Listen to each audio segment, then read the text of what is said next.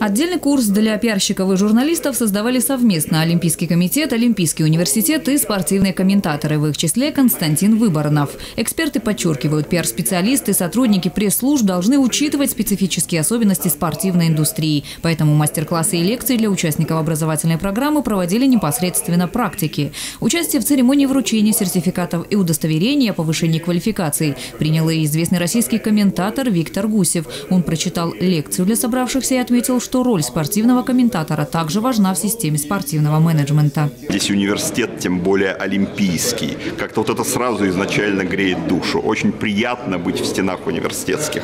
Ну и вопросы задавали люди и подготовились к этой беседе. И вопросы были нестандартные. И от наших зарубежных студентов тоже они такие, очень-очень такие подготовленные ребята.